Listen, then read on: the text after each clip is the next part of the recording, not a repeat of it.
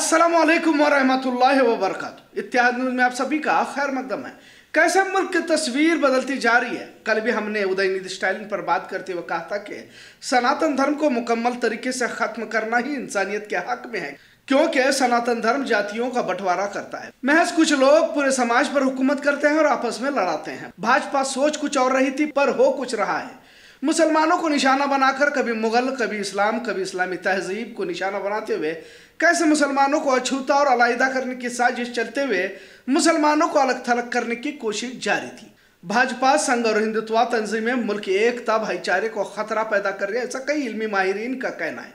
जो भी इल्मी माहिरीन, इल्मी दानिश्वर ने आवाज़ उठाई, उसके आवाज़ को दबाया गया। खासकर 2014 के मोदी राज के बाद तो मीडिया पर कब्जा ही कर लिया गया। अदलिया, सरकारी महकमा को भी अपने दबाव में लाते हुए तानाशाह की तरफ़ मुल्क को धकेलने की मुस्तकिल कोशिश जारी रही। भारत का भाईचारा गंगा जमनी तहजीब को मस्क करते हुए किस तरह मॉब लिंचिंग कत्लेआम सड़कों पर, औरतों पर हो रहे जुल्म ज्यादती, यहाँ तक कि स्कूली बच्चों में भी हिंदू मुस्लिम का जहर मोदी योगी राज में देखने को मिला। संघ भाजपा, हिंदुत्व को ऐसे लग रहा था कि वो कामयाब हो ही रहे और इन तमाम के बावजूद चुनाव भी तो जीत रहे थे। कहीं तो लोगों में ये उम्मीद थी कि कांग्रेस ने पिछले सत्तर सालों में क्या किया। और ये जुमला इतना मकबूल भी हुआ था कि जिसे सियासत का अलिब्य मालूम नहीं, वो भी बड़ी आसानी से कहता रहा कि पिछली सरकारों ने क्या दिया। खैर, मोदी इख्तदार पर बैठ गया। संसद के सीढ़ियों पर अपना माथा भी रखा, संसद में रोने भी लगा। उसे रोते देखकर लोगों की आँखें भी नम हो गई। और किस तरह भगवान का अवतार हमें हज़ारों साल बाद मिला, ऐसा महसूस भी करने लगे। कुछ अंध वक्त वैसे भी माहौल बनाने में मुस्तकिल लगे हुए थे तो गोदी मीडिया ने अपना जमीर ही मोदी हुकूमत में गिरवी रखा कि किसी तरह सरकार के तलवे चाटने का शर्फ हासिल हो, इसकी फिराक में गोदी मीडिया हमेशा नज़र आने लगी। वही दूसरी ओर महँगाई, बेरोजगारी चरम पर पहुँची। फिर भी लोगों में उम्मीद बाकी थी कि मोदी है तो मुमकिन है। मोदी हुकूमत ने भी अवाम की नब्स को पकड़ लिया था। अब अंधभक्त गुंडागर्दी पर भी उतारू हो गए थे और इनका निशाना था मुसलमान। भले भाजपा, संघ या कुछ हिंदुत्व के अलम्बरदार बीफ एक्सपोर्टिंग में करोड़ों कमा रहे थे, अपनी कंपनियों के नाम अल कबीर अदुआ अल अरबिया रख खरबों की दौलत कमा रहे थे, पर एक किलो, आधा किलो बीफ खरीद कर खाने वाले मुसलमान को सड़क पर गोरक्षक बनकर मॉब लिंचिंग के ज़रिए मार भी रहे थे। जो आवाम महँगाई, बेरोजगारी से परेशान थी, उसे बताया जा रहा था कि डरते क्यों हो? अब हिंदू राष्ट्रवादियों की सरकार आई है। मुगलों का बदला लेना है। मुगलों ने हिंदुओं पर जुल्म ज्यादती की है। फिर गरीब आवाम इनके झांसे में भी आ जाती और फिर इन्हें ही वोट देती रही और फिर भाजपा जीत भी जाती। और यही खेल 2014 से अब तक देखने को मिल रहा था। पर कहते हैं, अगर उरूज है तो फिर उसका जवाल भी है। आज ही की ये तस्वीर देख सकते हैं जो स्क्रीन पर है। ये तस्वीर यूपी मेरठ की है। यहाँ का तो वज़ीर आला ही भगवा लिबास पहने खुलकर हिंदुत्व की बात करते हुए मुसलमानों को अवकात में रहने की बात करता है। दरअसल ये तमाम लोग संविधान को मानते ही नहीं।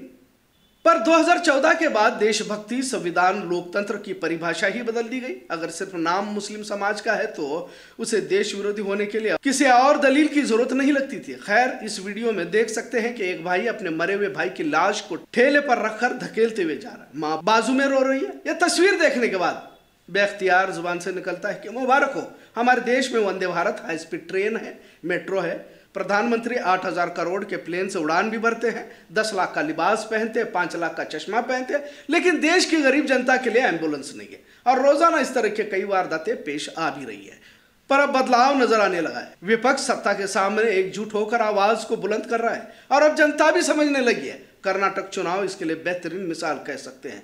सत्ता से सवाल जहाँ देश विरोधी गतिविधि समझी जा रही थी, वही अब भारत का विपक्ष इंडिया बनकर मुतहिद हो रहा है और उभर कर आ भी रहा है। इंडिया की बढ़ती मकबूलियत के चलते मोदी हुकूमत की मुश्किलें बढ़ती जा रही है। अब इंडिया नहीं कहा जाएगा, भारत कहा जाएगा। इस ऐलान के बाद भाजपा मोदी हुकूमत का खौफ ज़ाहिर हो चुका है, जबकि संविधान का पहला आर्टिकल कहता है, India that is Bharat. Shall be union of states, Bharat यानी इंडिया।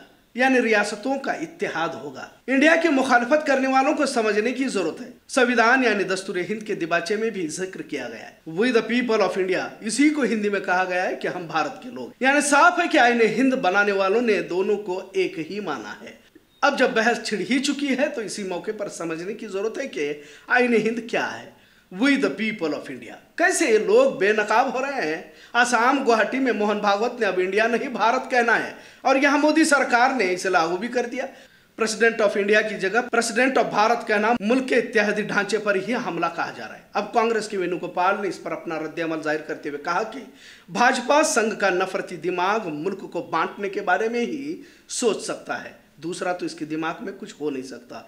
तुम कुछ भी कर लो मोदी जी। जुड़ेगा भारत तो जीतेगा इंडिया, कहा गया। इसी तरह जी ट्वेंटी समिट के लिए रिपब्लिक ऑफ़ इंडिया की जगह रिपब्लिक ऑफ़ भारत लिखना मोदी का खौफ बौखलाट नहीं, बल्कि सनक नज़र आ रही है। एक सन की तानाशाह जिसके हाथ से हुकूमत जाने वाली है, जिसकी छटपटाहट देखी जा रही है, ऐसा भी कहा जा रहा है। खैर, मुल्क की सियासत की दशा और दिशा बदल रही है। सुबह शाम हिंदू मुस्लिम एजेंडा की जगह दिगर मसाइल अब भाजपा संघ की मुश्किलों में इजाफा कर रही है। हिंदू राष्ट्र का बुखार कुछ लोगों को इतना चढ़ा हुआ है कि कुछ ना सही तो चाँद ही को हिंदू राष्ट्र घोषित किया जाए। 2024 के चुनाव में भाजपा, मोदी हुकूमत, संघ, हिंदुत्व सभी के लिए परेशानी का सबब बनता जा रहा है। राम मंदिर की तामीर जोरों पर तो है, पर आवाम में मोदी की गिरती साख, धर्म की सियासत में आवाम में बेजारी, यहाँ तक कि चंद्रयान का फ़ायदा बटोरने की कोशिश मोदी तो कर रहे थे, वो भी हासिल नहीं हो पाई।